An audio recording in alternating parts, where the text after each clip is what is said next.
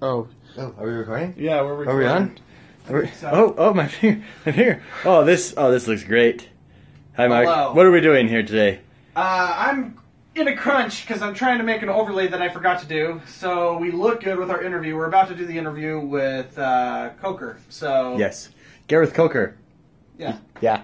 the composer, cool guy, composer from Ori, and uh, I'm trying to set this up so we look sexy. Look, he's he's in charge of uh, the sex appeal. Oh, oh, my look out. goodness! Oh, oh, come with me, walk with me, walk with me. just kidding, just kidding. Okay, check out our setup. We're going without tables today. We really want to. We don't want any barriers between us and Gareth. We. This is way more intimate. it is. So Oh man, it is more intimate. Clearly. yeah, that's where David sits. Clearly.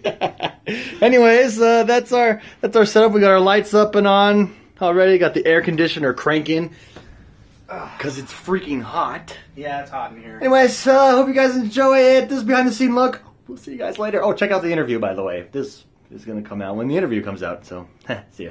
Okay, goodbye. Bye bye.